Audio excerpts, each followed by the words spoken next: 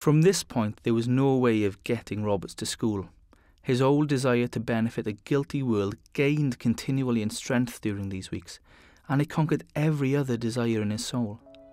To all who knew him, there was something strange in his manner now, and he caused them great anxiety that his mind was becoming impaired. A Dr. Hughes from the United States, who happened to be in the area, spent some time with him and feared for his mental stability. Tutors and friends didn't know what to do for the best. The month of October was to be a month of intense prayer for God's guidance as to the next step. Exactly a week after his experiences at Blaenannerch, Evan took part in a revival service in Twrgwyn, some five miles from Newcastle Emlyn. It was led by Joseph Jenkins, the minister at New Quay. These early experiences were to give Evan Roberts the blueprint that he was to follow in his own meetings. The minister opened the meeting for anyone to speak, and Evan Roberts took the opportunity of encouraging the congregation to win souls for Christ. The service commenced at 6:15 and closed at 10:15. 4 hours meeting and no one but young people taking part. A great number of those young people were girls from New Quay, teenagers and women in their early 20s already on fire since the spring of the year. This was most unusual during the early 1900s, where pulpit oration and public speaking was almost totally dominated by men. It was on a long five mile walk from this meeting that Evan Roberts, turning to his best friend and companion, Sidney Evans, asked, Do you think that it is too much to ask God to save 100,000 in Wales? Speaking some months later to a Gorseinon minister, he explained, After receiving the Spirit, some of us agreed to ask the Lord for 100,000 souls in Wales for Christ. And I saw Jesus Christ presenting a sort of cheque to his Father, and on it written, 100,000. And it's all right. Within two years, the cheque was to be cashed. Another revival meeting attended by Evan Roberts was at Capel Drindod on the 28th of October. Anne, Evan Phillips' daughter, was an eyewitness to the event. The Reverend Joseph Jenkins and the girls from New Quay were there, holding a revival meeting. Roberts went up early in the afternoon to prepare himself for the six o'clock service. He was in the wood praying. After entering, he had his eyes closed and was under some wonderful influences. The meeting went on excellently in singing and prayer, but before long it began to cool, because speaking took the place of the prayer and praise. The meeting's going down, said Roberts, and I cannot bear this. At once he was on his feet and saying fervently that Jesus was not glorified as he should be, because people wanted to show themselves. With these words, he fell in the pew and prayed in such a manner that no one in the congregation had ever heard such a prayer. He asked me to sing. I refused about five times, but at last I did, and he accompanied me full of fervour. Thanks for the meeting at Capel Drindod. It will be with me eternally. Evan didn't sleep all night. The divine outpouring was so heavy that I had to shout out and ask God to withhold his hand. Anne's sister Rachel had not experienced the same influence as the others. Evan asked her if she had refused to obey the Holy Spirit in any way. No, I don't think so. But I have felt many times on Sundays that I would like to repeat some hymn, were it not that I fear what people would think and that I want to show myself. Oh, yes, he remarked. That is it. Refusing to do a small thing like that is sufficient for him. Obedience must be given in the smallest thing. It looks small to us, but when obeying, the blessing comes.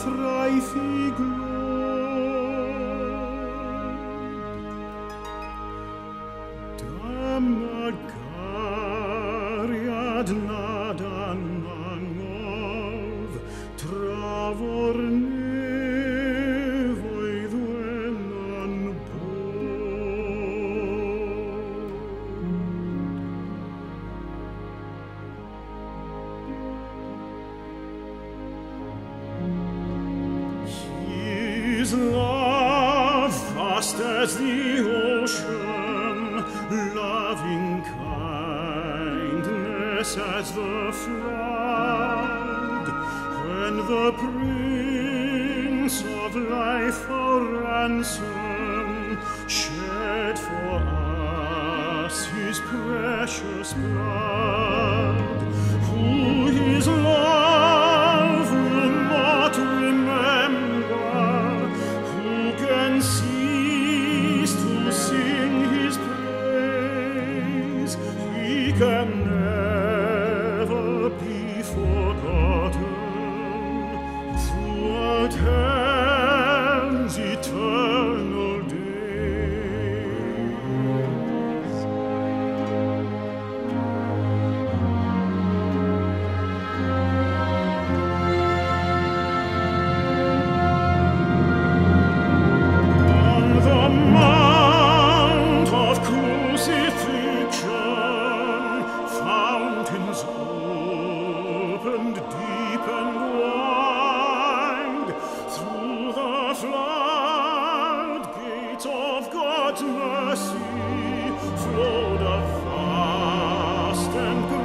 just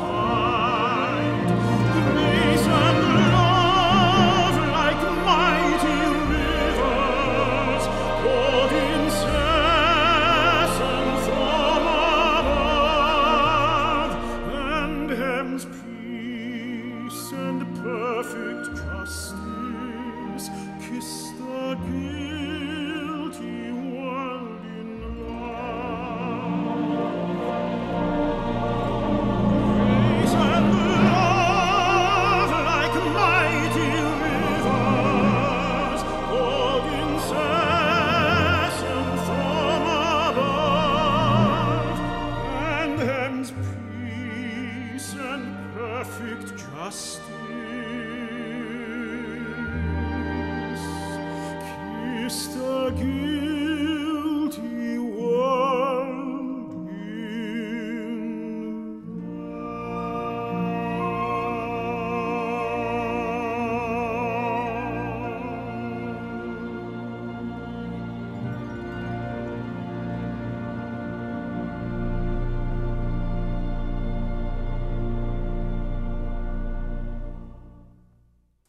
Sunday, 30th of October 1904. Evan Roberts, the revivalist, is ready, envisioned by the spirituality and the boldness of the New Quay Girls, he desires to go back to Loughor to reach his own youth with this message. This he explains to W.T. Stead. One Sunday as I sat in the chapel, I could not fix my mind upon the service, for always before my eyes I saw as in a vision the schoolroom in my own village, and there sitting in rows before me, my old companions and all the young people, and I saw myself addressing them. I shook my head impatiently and strove to drive away the vision, but it always came back. And I heard a voice in my inward ears, as plain as anything, saying, Go and speak to these people. For a long time I would not, but the pressure became greater and greater, and I could hear nothing of the sermon. Then at last I could resist no longer, and I said, Well, Lord, if it is thy will, I will go. Then instantly the vision vanished. The whole chapel became filled with light so dazzling that I could faintly see the minister in the pulpit, and between him and me the glory as the light of the sun in heaven. And then you went home?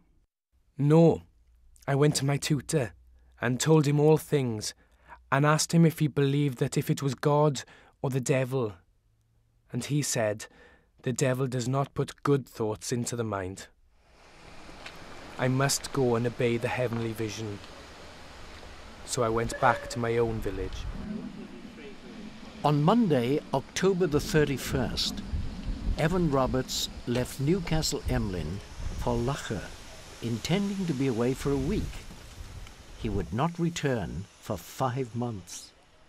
Writing to Florrie Evans that morning, he asked to be remembered in prayer. Writing to another of the girls whilst on the train, he explains his motives. The reason for this is the command of the Holy Spirit. He gave the command last night at the meeting, and my thoughts were wandering, and my mind riveted on our young flock at Moriah. There seemed a voice, as if it said, You must go. You must go. Please excuse the pencil and the writing. This has been written while the train was in motion from Newcastle Emlyn to Pencader. Evan Roberts' arrival at Loughor was unexpected. At first, his mother thought he was ill. He explained that he was going to work amongst the youth of the area and planned to travel throughout Wales, offering Christ to sinners. Mrs. Roberts sought to bring him back down to earth by reminding him of school and finance. Evan replied that God would provide, as God hath plenty. the rest of the family noted the difference in him. His speech was changed. This wasn't the Evan who went to college six weeks previously. Hearing that his brother Dan was off work due to a weakness in his eyes, Evan declared that his eyes would recover immediately. And they did. Dan was to become another of the key players in the spread of revival over the next few months. Evan Roberts' prophetic words to his brother were on the verge of fulfillment. Dan, You shall see there will be a great change at Lacher in less than a fortnight. We are going to have the greatest revival Wales has ever seen. Monday evening, the 31st of October 1904. Evan Roberts, now back at Lacher, goes to the prayer meeting held every Monday here at Mariah Lacher. At the end of the meeting, he asks people to stay behind. 16 people stay behind, plus one little girl. It's the beginning of the Evan Roberts revival meetings here in this church at Moriah. In two weeks' time, the excitement will have gone throughout the whole of Wales. For the next week, it's going to be here in this room, in Pisgah, just a few miles down the road, and in some other local chapels. Evan Roberts is excited. Things are going to happen. Things are actually happening. On the Saturday, at the end of that first week, he writes to Elsie Phillips, a friend, describing what he is going through. We hold a prayer meeting every night at 8 o'clock. These meetings have been a success. The young people say they could sit all night. Monday night, I explained to them the object of the mission. Then I told them of the Spirit's work in New Quay and Newcastle Emlyn and urged them to prepare for the baptism of the Holy Spirit. Now, this was the plan I have taken under the guidance of the Holy Spirit. There are four things to be right. You can go to heaven without being filled with the Holy Ghost, but without being filled, you will lose much on the way. Number one, you must obtain full and complete pardon for the sins of the past. If the past is not all right, it must be made so. Every sin you know of, confess it honestly before God. Number two, is there anything doubtful in your life? If so, it must be removed and done away with. Is there a habit of doubtful character in your life? Away with it. If there is, there cannot be any joy in your heart until you remove the questionable habits and pleasures. Self denial is one of the very first essentials of the religion of Christ. Number three, complete and immediate obedience to the Holy Spirit. Say not something prompts me to pray. It is not something, it is the Holy Ghost. Whatsoever he says to you, do it. The world may laugh. Heed it not, you will not be here long. Bow to him now. Do not say hush when one breaks into prayer. Resist not the Spirit. 4. A public and personal confession of Christ. How long will it take you to make a confession of Christ? Stand up now. Do not look at one another. Out with a confession. These are the four things leading to the grand blessing.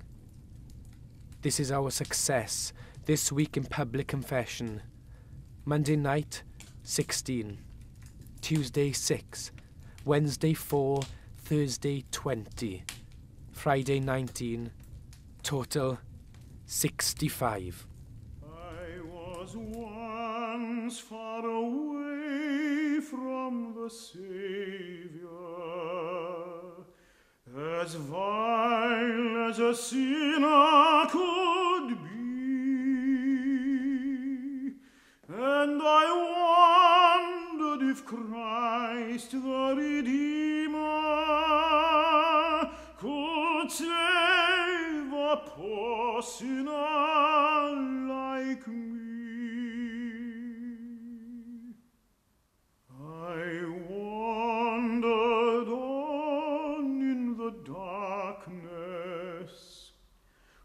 not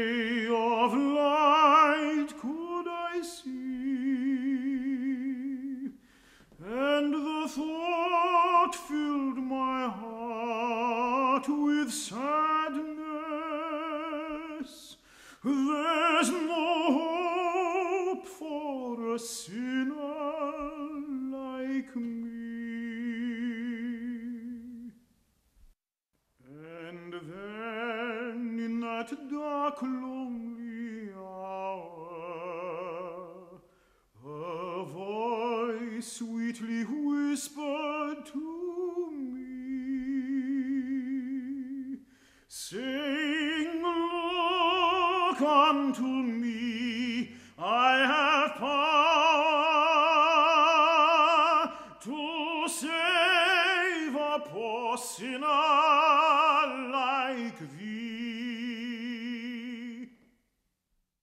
By the end of the first week, a change was evident in many people. This became a talking point in chapel, pub, and workplace. This change even affected Evan's home. Our family has had a great change. My sister, a girl of 16, who before was a sarcastic and peevish girl, has had a grand change. And her testimony is that she is happy now and that there is some joy in living. You can see the change in her face. Not everyone was positive. Some said that he was out of his mind. Others questioned that if the Holy Spirit is at work, why doesn't he come before midnight? Some called him a deceiver. Evan Roberts' controversial methods became such a talking point that people were coming to the meetings to decide for themselves, and they were overflowing. Evan described the second week as a week of direct prayer. This began on the Sunday evening. The revivalist himself described the scene. After the service, I continued until it was 12 o'clock. I said I was not satisfied with it and that we must get the blessing, even if it were necessary to stay down until daybreak. I said that we would have to strive with heaven. Now we must believe that the Spirit will come, not think he will come, not hope he will come, but finally believe that he will come. After this, the Spirit said that everyone was to pray. Pray now, not confess, not sing, not give experiences, but pray and believe and want, and this is the prayer. Send the Spirit now for Jesus' sake. The people were sitting and only closed their eyes. The prayer began with me, and then it went from seat to seat. Boys and girls, young men and maidens, some asking in silence, some aloud, some coldly, some with warmth. Some formally, some in tears, some with difficulty, some adding to it, boys and girls, strong voices, then tender voices. Oh, wonderful. I never thought of such an effect. This will be the plan for the week. Everyone to pray individually for the Spirit. Send the Spirit now for Jesus Christ's sake. Evan Roberts' enthusiasm was unbounded and often overpowering. Meetings went on until three or four in the morning, and it wasn't long before the press got to know of the religious goings on at Loughor. On Thursday, November the 10th, the first report appeared in the columns of the Western Mail. By Friday the 11th, the Western Mail had sent a special correspondent to cover the events in detail. A remarkable religious revival is now taking place at Loughor. For some days, a young man named Evan Roberts, a native of Loughor, but at present a student at Newcastle Emlyn, has been causing great surprise by his extraordinary orations at Moriah Chapel. Such excitement has prevailed that the road in which the chapel is situated has been lined with people from end to end. Roberts, who speaks in Welsh, opens his discourse by saying he does not know what he is going to say, but that when he is in communion with the Holy Spirit, the Holy Spirit will speak, and he will simply be the medium of his wisdom. Soon all the other newspapers followed suit, and consistent coverage was to continue well into 1905. This not only chronicled events, but also created a hunger for similar outpourings of the Spirit throughout the Principality. Evan Roberts' progress from Loughor to the valleys, Liverpool and North Wales, was reported and analysed. Here was the new Howell Harris. Here was a young man sincere, enthusiastic, who spoke the language of the people. Interest in him grew from day to day. And he wasn't the only revivalist. Joseph Jenkins and his New Quay team made a huge impact in North Wales. R.B. Jones' preaching was the instrument of revival in Rhos and Anglesey. W. W. Lewis continued to speak at conventions for the deepening of the spiritual life alongside W. S. Jones, recently moved from Penuel Chapel, Carmarthen to the Rhondda. Many other local ministers and young people also took up the challenge to reach Wales. Still, many of the national papers couldn't get away from their fascination with Evan Roberts. One of the first press interviews was on Friday, November the 11th, to Brindley Evans, the editor of the Llanelli Mercury. It gives us a glimpse of the revivalist at this early stage. The young missioner was full of enthusiasm for his work, but there were traces in his deathly white face of severe mental stress.